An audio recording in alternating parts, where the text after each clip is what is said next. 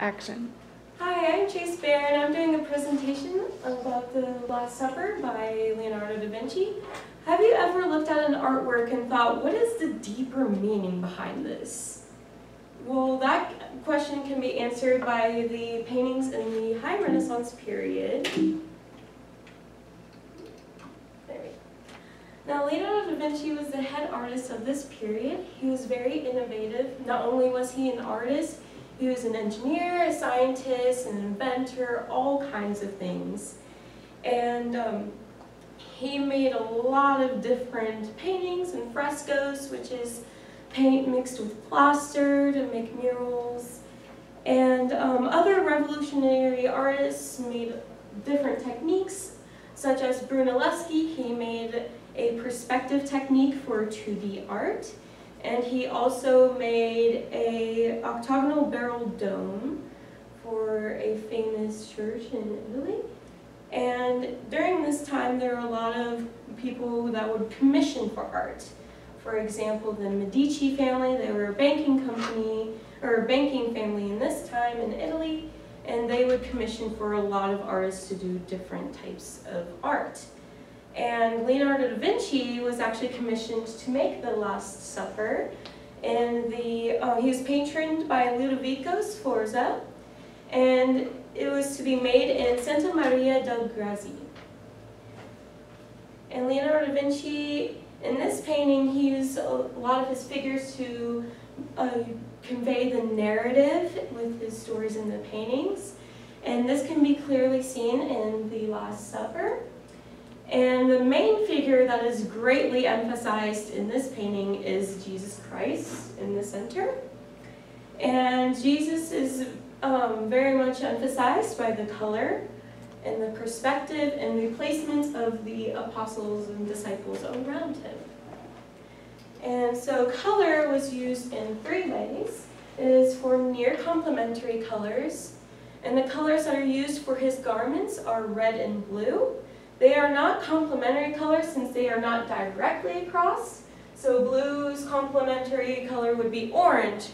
But since they are kind of like on the opposite sides of the spectrum, and red is to the right a little bit from the orange, it is not as strong as a contrast as the complementary colors, but it still kind of contrasts with the different colors because the blue is a cool tone and the red is a warm tone and the saturation and intensity of the colors.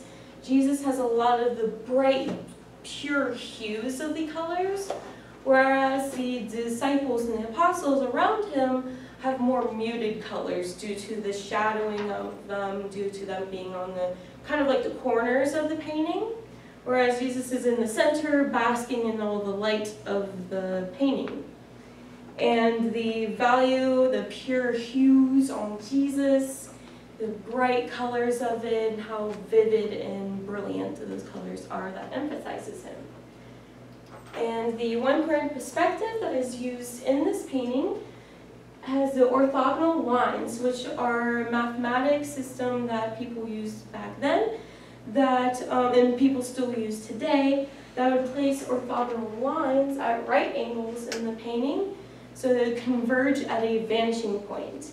Now in this case, the vanishing point is right on Jesus' head, which brings the viewer's eyes right towards him due to the lines, all of them converging to his face. And the placement of the apostles around Jesus Christ. Now the biblical story that is used in this painting plays a lot in how everyone is arranged and how the unity and movement is. And the biblical event portrayed can be seen in the Zondervan NIV Study Bible on Matthew chapter 26, verse 25.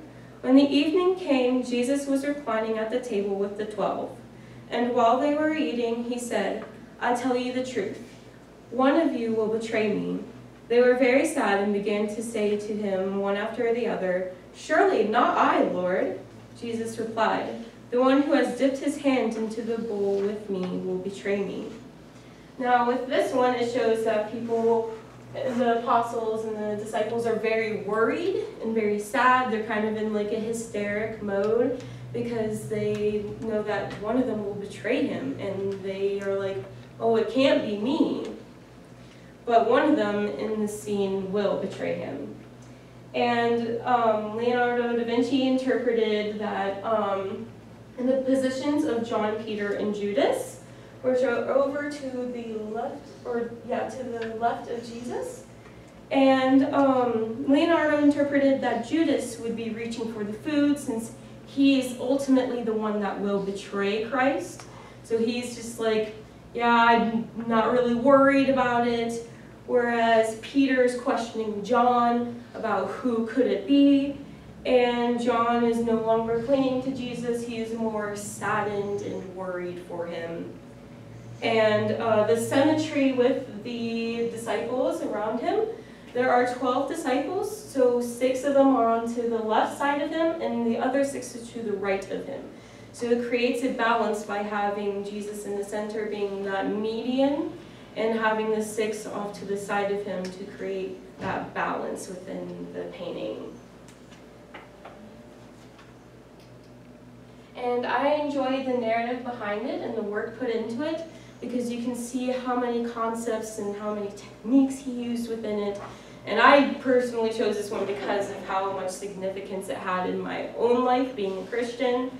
And I saw that it was very beautiful and um, not only for the surface value, but also the deeper meaning to it and how much work that Leonardo da Vinci put into this painting.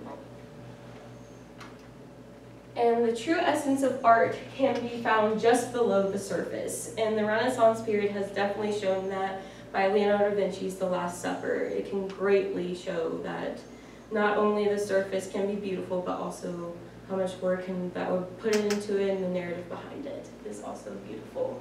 And thank you for your attention.